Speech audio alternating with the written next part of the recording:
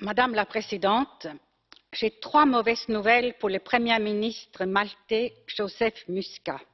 Un, une réélection ne remplacera jamais le travail de la justice. Les soupçons de corruption et de blanchiment d'argent pesant sur ses proches entachent son action politique. L'absence d'enquête la décrédibilise. Deux, les règles fiscales de Malte doivent changer. Elles mettent à mal la cohésion européenne et plus largement l'avenir de l'Union. Les révélations des Paradise Papers ont fini de dégoûter des citoyens à qui on impose l'austérité et qui voient leurs services publics se dégrader. Une procédure d'infraction telle qu'évoquée par le commissaire Moscovici serait un minimum. L'Union européenne doit aller plus loin et faire cesser la concurrence fiscale déloyale en son sein.